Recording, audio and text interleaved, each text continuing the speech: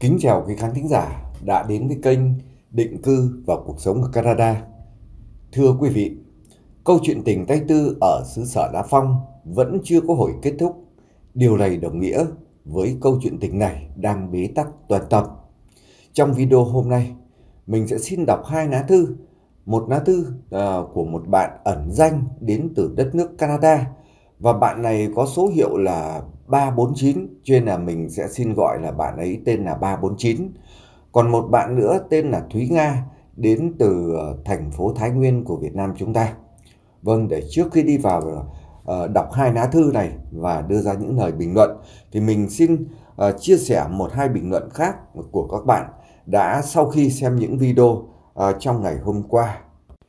Những lời bình luận này uh, mang nội dung vừa muốn giải quyết câu chuyện tình êm đẹp vừa có ý trách móc những người đàn ông đại diện trong câu chuyện tình này là chẳng hạn như là sinh viên Hùng hoặc bác sĩ Trần. Vâng, cái lời bình luận thứ nhất của một bạn tên là Nguyễn Thị Nhung. Anh chủ YouTube ơi, tôi đã theo dõi từ đầu đến nay, tôi thấy cuộc tình tay tư lầy quá phức tạp. Trong tình thế này chỉ có Hùng là người quyết định lấy ai được thôi.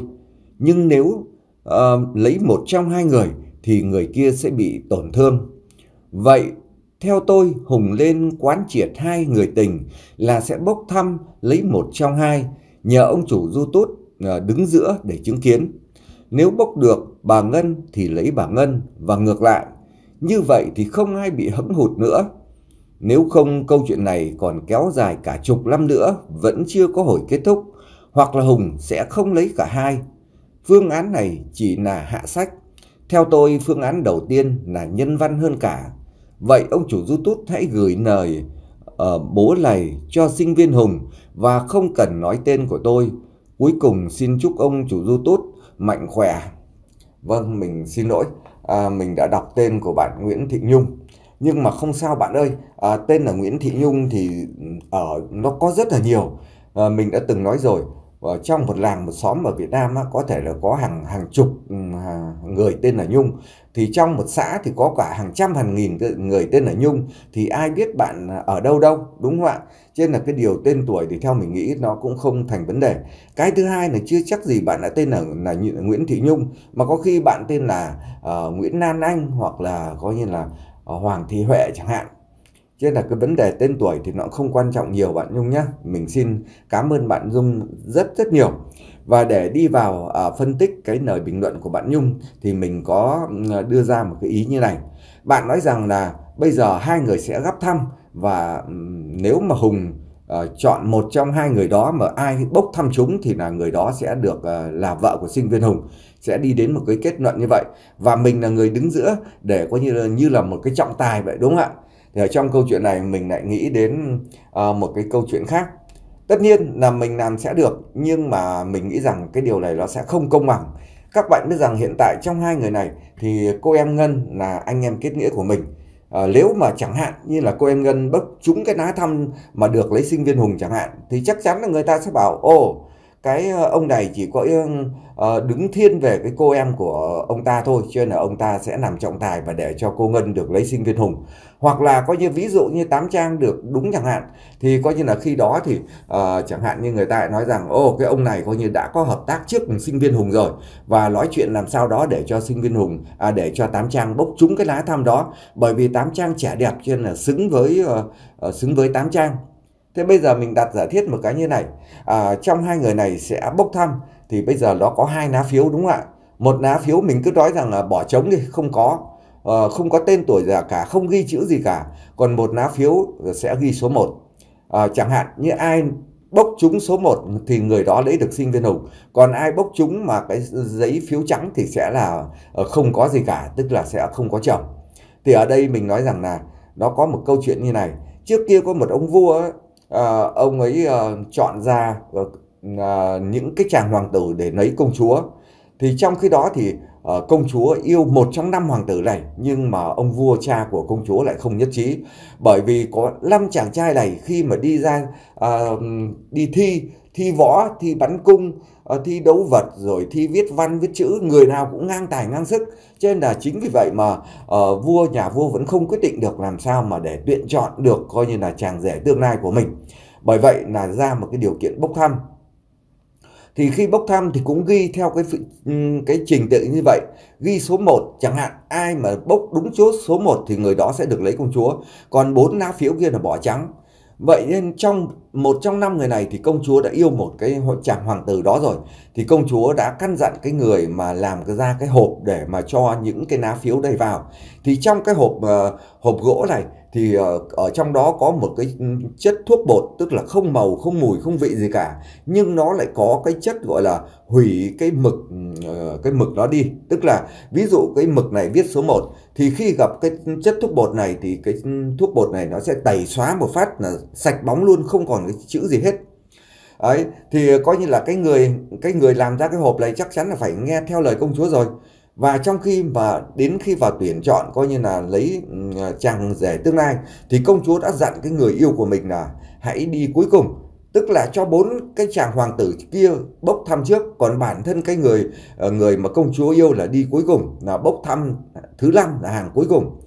Cho nên là đến khi mà uh, năm bó phiếu uh, được cho vào cái hộp thì có một số phiếu rõ ràng nhà vua đã lấy tay viết chữ số 1 Hà Nội và khi năm pho đá phiếu này được thả vào cái thùng gỗ đó, cái hộp gỗ đó thì ờ, người trọng tài là lấy đá sóc sóc đều lên năm lá phiếu này lẫn lộn ở trong đó. Thì các bạn biết rằng là trong cái lúc sóc đó thì cái thuốc bột không màu không vị kia nó tẩy đi mất cái số 1 rồi. Có nghĩa rằng là năm lá phiếu này đều là lá phiếu trắng đúng không ạ? Cho nên là bởi vậy là khi mà bốn chàng hoàng tử đi đầu đều có như là hăng hái vào bốc cái phiếu thì đều là cái số đều là phiếu trắng hết còn cái người cuối cùng thì đâu cần phải bốc phiếu nữa. Chứ là người cuối cùng thì có những cái số phiếu còn lại, cái lá phiếu còn lại, nó là số 1 rồi, thì là cái người đó chính là hoàng tử rồi. Thế là người đó đã trúng. Nếu mà bây giờ mình cũng làm trọng tài thì mình cũng làm một cái chuyện tương tự như vậy, thì muốn mình muốn cô em ngân của mình thì chắc chắn cô em ngân của mình sẽ được. Đó là một lý do thứ nhất. Lý do thứ hai chỉ cần đơn giản như này thôi. Mình biết tính cách của hai người này bây giờ cho chẳng hạn như là có một phiếu là trắng đi, một phiếu là số 1 đi, thì bây giờ là ai sẽ là người bốc trước? Đấy, bây giờ đưa dẫn vấn đề ra ai là người bốc trước? Thì mình tin rằng chắc chắn ở đây cô gái tám trang sẽ là người nhanh nhẩu đi ra bốc trước.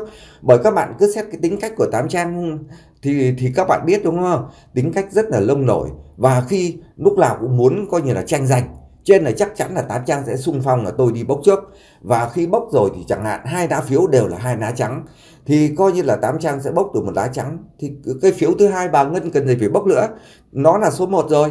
Thì đương nhiên là bà ngân sẽ có lấy được sinh viên hùng. Như vậy thì trong cái phương pháp của bạn Nguyễn Thị Nhung này, mình nghĩ rằng là nó không công bằng một chút nào cả.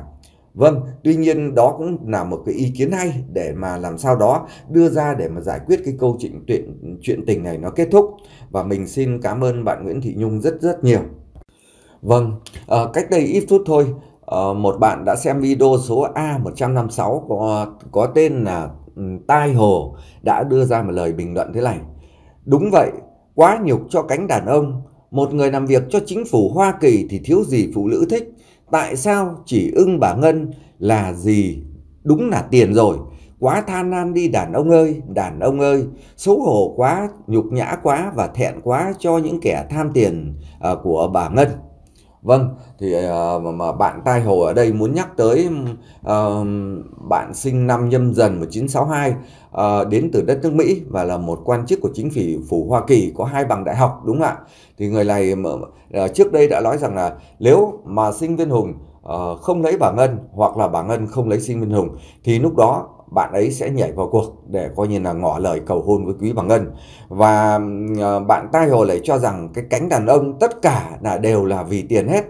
Thì thực sự ra khi bạn bình luận câu chuyện này mình cũng thấy uh, rất là ừ, cảm thấy như là bị tổn thương. Ai cũng vậy thôi tất cả các bạn đàn ông mà đang nghe cái lời bình luận này thì đều cảm thấy tiềm thức tổn thương đúng không ạ? Bởi vì bạn tai hồ nói rằng là tất cả đàn ông đều vì tiền cả cho nên mới nao vào coi như là uh, để cầu hôn với bà ngân. Vậy thì mình cũng xin uh, để chữa thẹn như thế này. Uh, các bạn còn nhớ không? Hầu như uh, những người Việt Nam ta đều biết cái bài hát uh, ôi đàn bà đúng không ạ? Trong cái bài hát ôi đàn bà này thì có có những câu như này. Ôi đàn bà là những niềm đau, hay đàn bà là ngọc ngà trăng sao. Ôi đàn bà là lại là con dao làm tim ta nhỏ máu. Ôi đàn bà rượu ngọt đêm qua, ôi đàn bà lạnh nùng đêm nay, vân vân vân vân. Có rất nhiều cái từ ôi đàn bà có nghĩa là khi nhắc tới đàn bà thì là là lỗi nỗi niềm đau của cái người đàn ông và ví họ ví như như những con dao để làm tim của những người đàn ông nhỏ máu vậy bởi vậy mà bạn nói rằng tất cả đàn ông đều vì tiền uh, thì coi như là đàn bà thì sao đây và trong lời bài hát này thì rõ ràng rằng là đàn bà là trung tâm rắc rối và đem đến những đàn đem đến những niềm đau ở trên đời này cho những người đàn ông đúng không ạ? Tuy nhiên cánh uh, chị em phụ nữ cũng đừng vội vã trách mình bởi vì uh, có câu nói rằng ở uh, trên thế giới này mà không có đàn bà thì lấy đâu ra có những anh hùng. Có nghĩa là không có đàn bà để sinh ra em bé thì lấy đâu ra những anh hùng, lấy đâu ra những đàn ông đúng không ạ?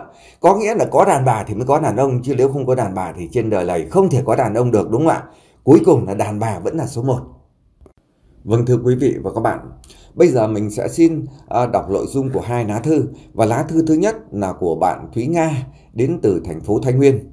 Vâng, các bạn biết rằng trong câu chuyện tình này à, có có rất nhiều bạn đã nói rằng người đáng thương nhất trong cuộc tình Tây Tư này chính là cô bé Tám Trang.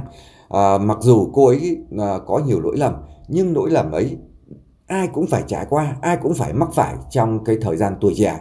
Bởi vì cô gái này là người tuổi trẻ nhất trong uh, trong bốn người trong cái câu chuyện tình này.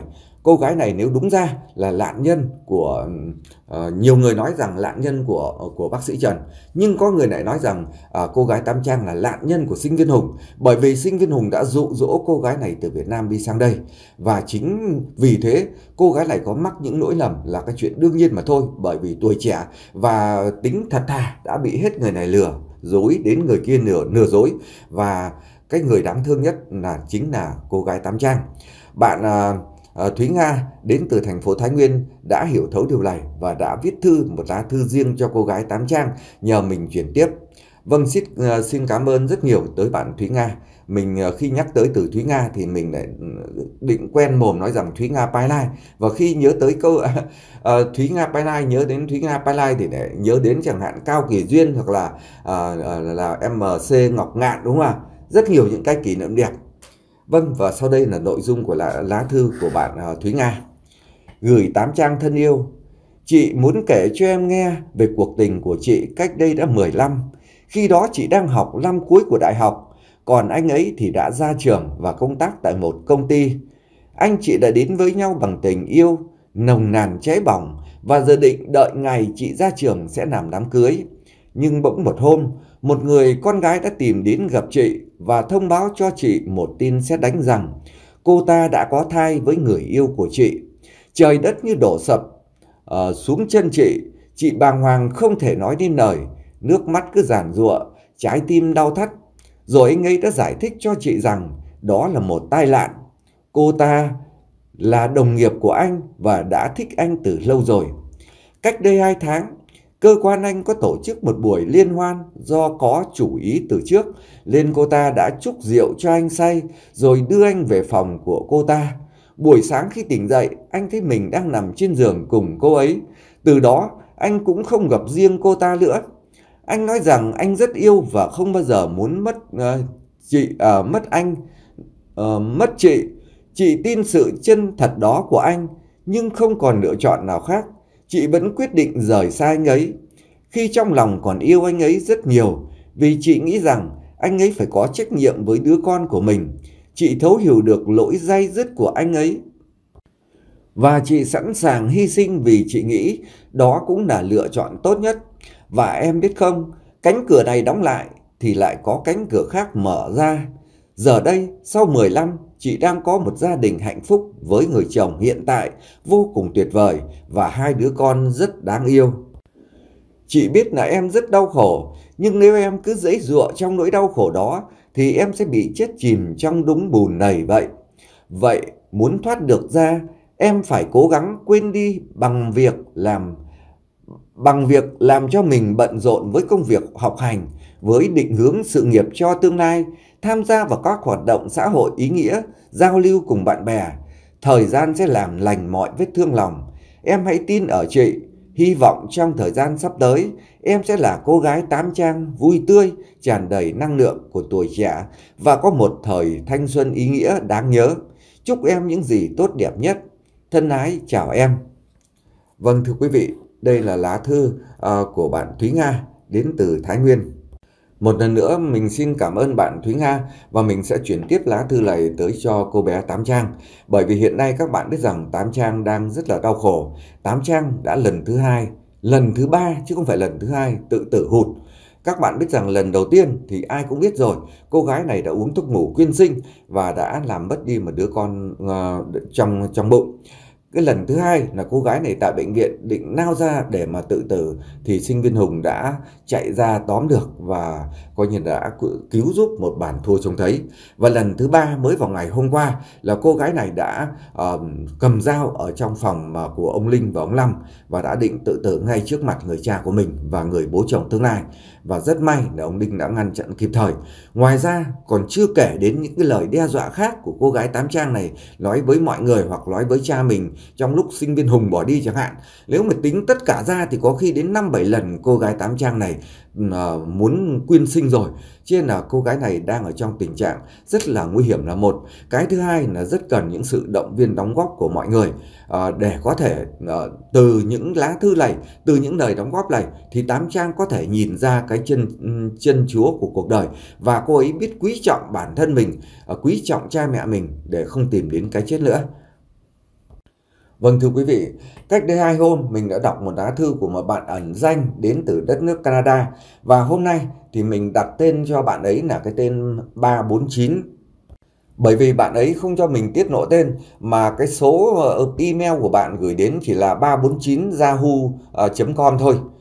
Vâng và sau đây là nội dung của bạn ấy. Thân thăm sức khỏe anh cùng các cháu ạ. À. Xin mạo muội giải thích việc anh nói không tin ông đi cả nhắc đến dọa ông Năm không phải là sinh viên Hùng sai đến. Tôi nhớ có lần anh đã kể rằng ông cả nhắc này đã nói với ông Năm rằng ông ta đến đây là do bác sĩ Trần sai đến. Nếu ông Năm không về Việt Nam thì hậu quả sẽ bị giống như ông ta. Phân tích của tôi, nếu đây là lời đe dọa của bác sĩ Trần thì ông cả nhắc này không thể nói tên người sai khiến mình đến đây. Thành ra tôi nghĩ đây chính là sinh viên Hùng là thủ phạm đứng đằng sau. Ông cả nhắc này dọa ông Năm ngay vào thời điểm sinh viên Hùng vừa rời khỏi Toronto. Thời điểm đó Hùng rất tức giận bác sĩ Trần đã đến thăm nhà bà Ngân. Hùng đã đá vào xe của bác sĩ Trần khi ông này vừa lên xe lướt đi đó. Anh nhớ chứ, Hùng đã vô cùng giận và thề sẽ trả mối thù này. Theo tôi thấy như thế, và cho đến bây giờ, sự tức giận ấy đã làm cho cậu ta không muốn nói chuyện với bác sĩ Trần nữa đã hất cái tập hồ sơ mà ông bác sĩ Trần đưa ra cho Hùng khi ở nhà thương để chứng minh cho cậu ta biết rằng ông ấy đã nhờ thám tử tư tìm Hùng ra sao. Vì sự tức giận này mà Hùng đã tự thề với lòng mình phải trả thù bác sĩ Trần, lên thuê ông cả nhắc đến dọa ông Năm và nói là do bác sĩ Trần sai khiến, tức là một mũi tên bắn hai con nhạn. Tôi xin phân tích tính tình Hùng thêm một chút nếu để tự nhiên thì Hùng không bao giờ xin lỗi cha của Tám Trang đâu, mà chính là khi về gặp Hưng, anh chàng này đã thuyết phục phân tích cái đúng cái sai và ép Hùng đi xin lỗi cha của Tám Trang, thì cậu ta thấy đúng lên mới làm, chứ để thực tâm thì cậu này sẽ không làm đâu. Hùng là sinh viên có bề ngoài đẹp trai, không biết học có giỏi hay không, nhưng được giáo dục 20 năm trong một gia đình đông con, ba người, có bà mẹ và ông bố không đủ thì giờ dạy dỗ con cái thì ít nhiều uh, cũng bị thấm cách sinh hoạt gia đình, đanh đá, mưu mô, sống chỉ biết thấy cái nợ cho mình và chỉ biết nợ dụng người khác, coi đồng tiền là quan trọng to lớn. Qua việc lấy bà Ngân giàu có, tiêu xài tiền bà ta, còn rủ Tám Trang qua Canada để cậu ta muốn sống phè phỡn trên tình yêu chân thật của Tám Trang trao ra. Xài tiền của bà Ngân mà không mắc lợ, Hùng có thể đã theo dõi câu chuyện uh, qua YouTube, biết hết mọi thứ, nhưng vì tự ái và cái tôi của cậu ta quá lớn đã làm ngơ tất cả để mọi người điên lên tìm kiếm mình. Còn mình thì đang sung sướng, diễu cợt uh, trên nỗi đau của mọi người. Con người còn trẻ mà sao đầu óc ghê gớm đến thế? Tôi muốn giải thích thêm về điều là chính Hùng đã sai ông cả nhắc đến chỉ muốn dọa ông Năm một phen cho sợ hãi thôi. Chứ nếu như là bác sĩ Trần muốn thực sự đuổi ông Năm về Việt Nam, thì đâu cần uy hiếp ông Năm kiểu đó. Hai người không có thù hận gì nhau. Sau này còn cho ông Năm 50.000 đô để ông ấy có thể về Việt Nam sinh sống, thì đâu cần dọa dẫm ông Năm làm gì. Anh nghĩ tôi phân tích như vậy có đúng hay không ạ? Những đứa bé sinh ra và lớn lên ở bên này có ai mưu mô lợi dụng người khác như Hùng hay không? Có ai coi nghĩa sống bằng tiền của kẻ khác như Hùng hay không? Cậu này thật sự mà nói là một người quá gian xảo. Tôi mong bà Ngân cũng như Tám Trang không bị rơi vào cái bẫy của cậu ta. Sau này ở tuổi 30, cậu ta thành công, có tiền tài, địa vị thì sẽ tác oai tác quái ra sao nữa.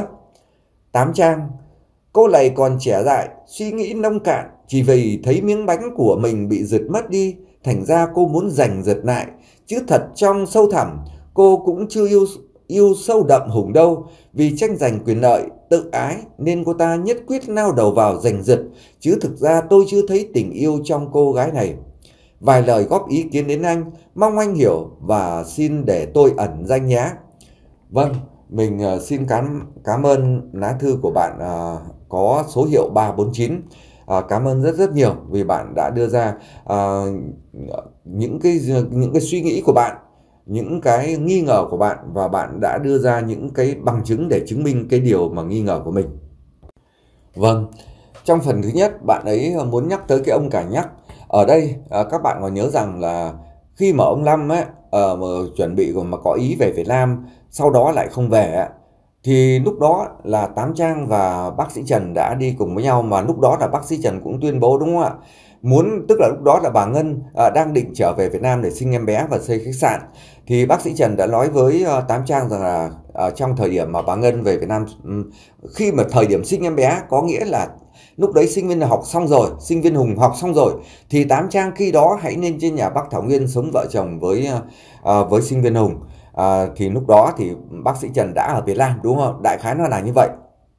Thì lúc đó vào cái ngày mùng 8 tháng 3 thì uh, bác sĩ Trần đã gửi có như 50.000 đô bảo gia nhân mang cho ông Năm tức là cha của Tám Trang và tặng Tám Trang một cái lãng hoa tươi nữa rất là đẹp nữa thì các bạn biết rằng là uh, có nhiều người nói rằng uh, mục đích của bác sĩ Trần là đưa cho uh, ông Năm 50.000 đô đó để một cách đuổi khéo ông Năm trở về Việt Nam để ở đây Tám Trang không không bị bố uh, ngăn cản nữa và tự mình có thể đi lên trên chỗ sinh viên Hùng sinh sống.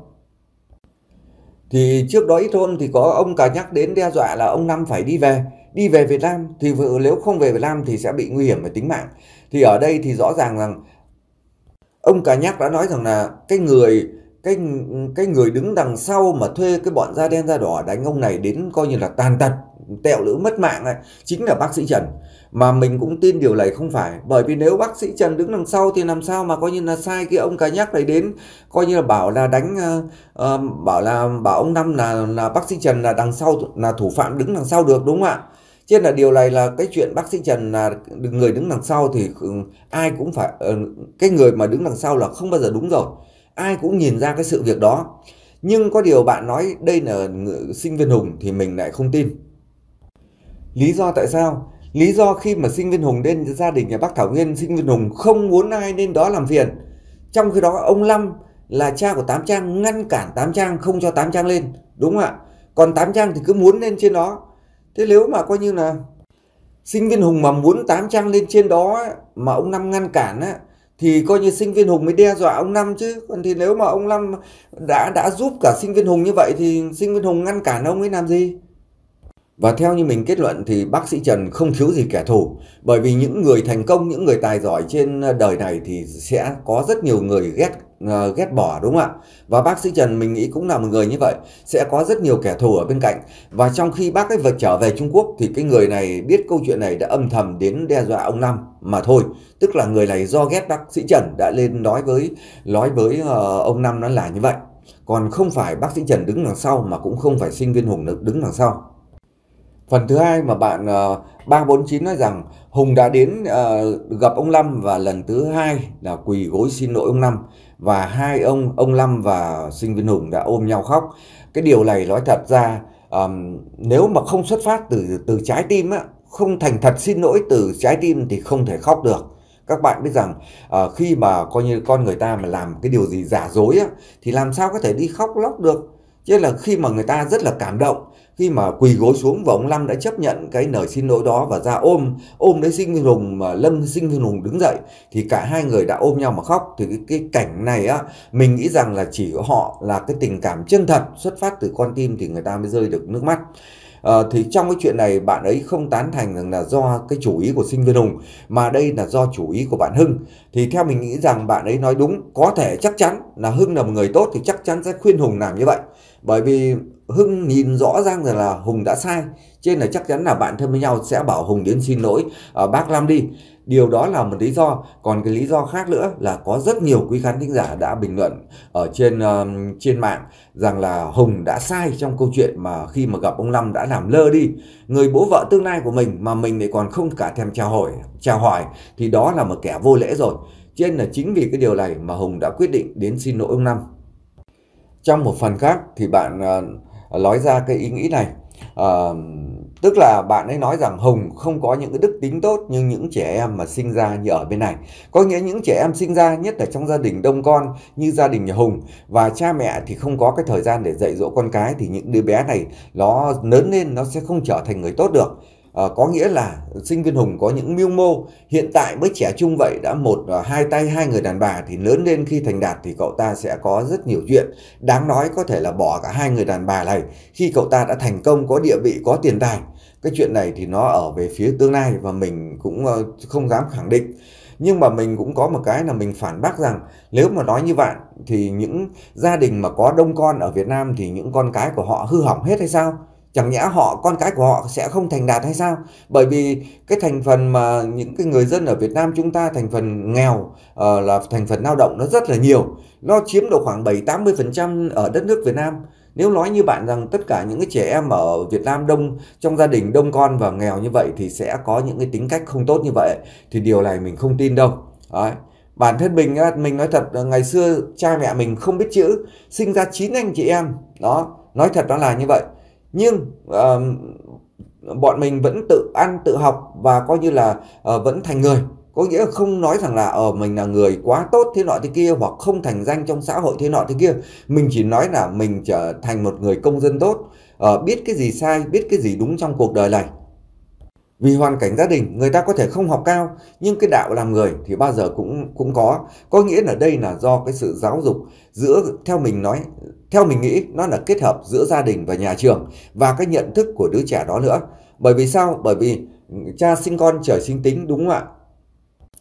Còn cái ý cuối cùng mà bạn 343 349 muốn nói với Tám Trang là cô gái này không thật sự yêu Hùng à, chỉ vì coi như là tranh giành coi như một cái miếng bánh thôi mà muốn giành giật lại thôi bởi vì ở đây là có bà Ngân. Trong khi đó là à, ban đầu là cô ta cũng và Hùng đã có quan hệ với nhau rồi. Thì bây giờ là vì cái tư lợi cá nhân cho nên là cô gái này đã vào tranh giành chứ thật sự là không yêu sinh viên Hùng. Ở đây trong chuyện này mình cũng phản đối luôn. Lý do tại sao vậy? Lý do nếu mà không yêu sinh viên Hùng thì cô ta tự tử làm gì? Mất cả tính mạng của mình để coi như là quyên sinh để làm gì ạ? Nếu thật sự là không yêu thì tội gì mà người ta phải đi tự tử để làm gì thì cái chuyện này bạn à, 349 có thể giải thích giúp mình bởi vì mình nghĩ rằng là cô gái này đã yêu sinh viên Hùng còn yêu hơn cả tính mạng của mình nữa. Chính vì vậy mà cô gái này mới gọi là tìm đến cái chết, nhiều lần tìm đến cái chết đúng không ạ? Bởi vì không thành công, không lấy được người yêu của mình thì sống trên cõi đời này cũng bằng thừa. Trong suy nghĩ của cô gái này nó là vậy. Tuy nhiên trong cái chuyện tranh luận này thì mình cũng nói riêng với bạn 349 với tất cả quý khán thính giả rằng nó chưa có một cái gì gọi là một cái sự gọi là chính xác tuyệt đối. Sai và đúng nó chỉ cách nhau một đường đường tơ kẽ tóc thôi. Mình chỉ mong muốn rằng tất cả những lời bình luận của các bạn đưa ra làm sao đó cho nó gọi là có văn hóa, ờ, không có những lời xúc phạm ghê gớm đến những nhân vật trong chuyện để cho họ không bị những cái niềm đau. Người Mỹ có câu nói rằng à, lời nói thì sắc hơn cả gươm đao à, nếu mà những à, mình mà dùng những cái lời nói mà nó sắc sảo quá à, để coi như là à, khiến cho cái vết thương của người ta bị dỉ máu thì à, vô tình chung mình lại là cái kẻ mang tội lỗi các bạn ạ.